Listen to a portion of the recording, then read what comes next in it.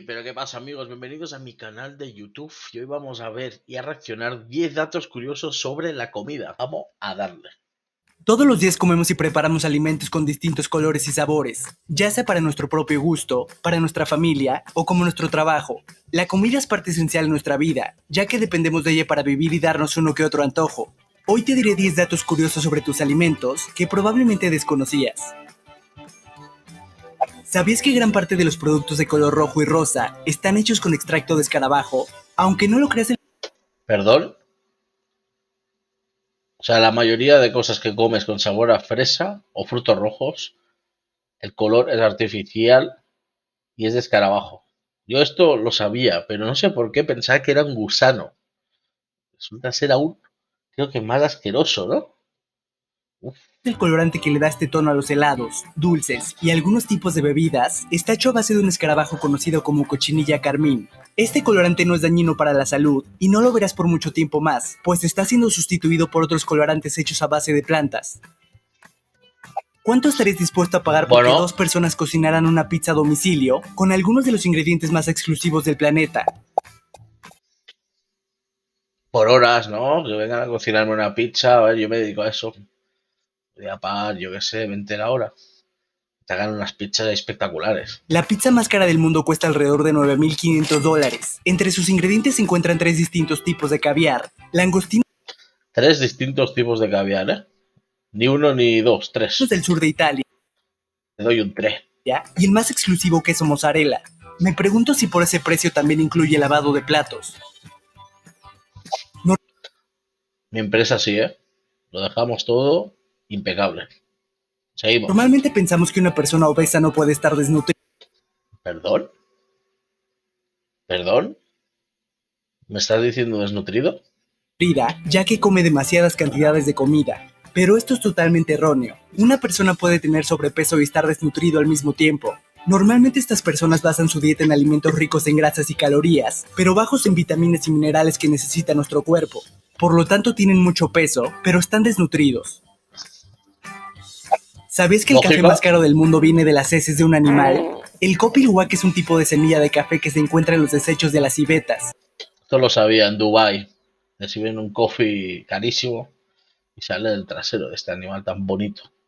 Guapo. Según los especialistas, este pequeño animal solo elige las semillas más puras y sabrosas del café, las cuales al pasar por su aparato digestivo adquieren un sabor único en el mundo.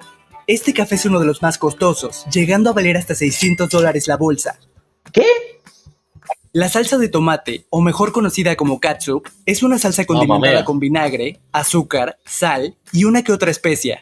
La palabra proviene del chino kuechap, que significa salsa de pescado en escabeche. Cuando se empezó a comercializar en 1837, sus vendedores aseguraban que esta salsa podía curar toda clase de males, desde la calvicie hasta el pie de atleta, por supuesto, esto no fue más que una estafa para aumentar las ventas del producto, ya que sabemos a ciencia cierta que la salsa de tomate no curará tus males, pero es indispensable para comer unas papas fritas.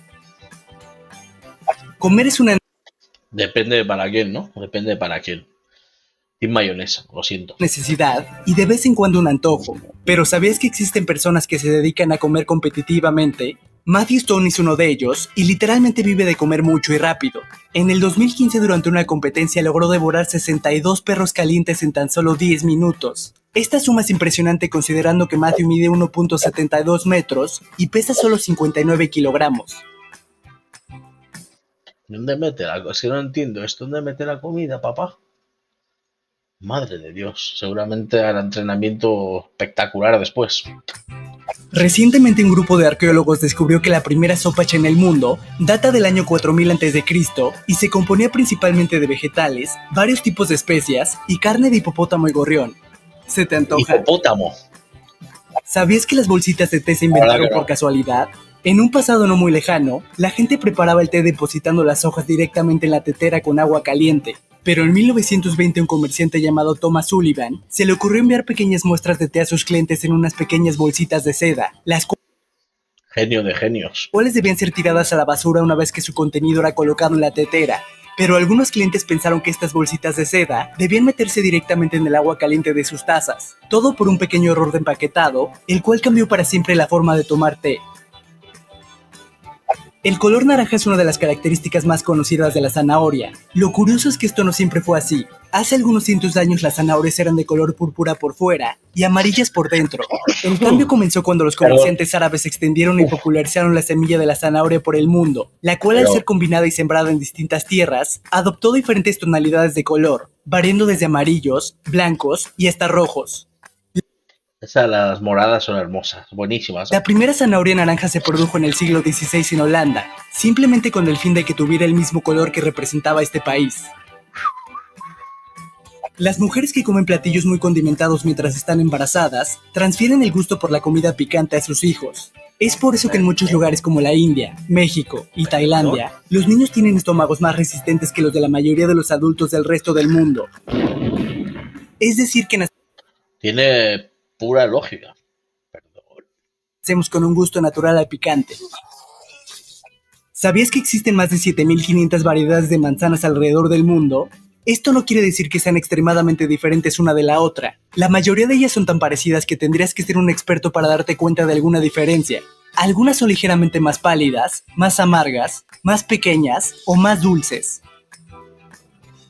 La miel de abeja es uno de los pocos alimentos en el mundo que jamás caduca. No importa cuánto tiempo pase, esta siempre podrá ser consumida sin riesgo. En 1922, cuando se abrió la tumba de Tutankamón, fueron encontradas varias vasijas con miel, las cuales a pesar de haber estado guardadas por más de 3.000 años en la oscuridad, aún estaban en buen estado como para ser consumidas. Pues nada, dato interesante. El que más me ha impactado sin duda de todos estos datos, de estos 10 datos de comida, ha sido el del escarabajo. Pensaba que era un gusano, aún así me, ahora me da más asquillo.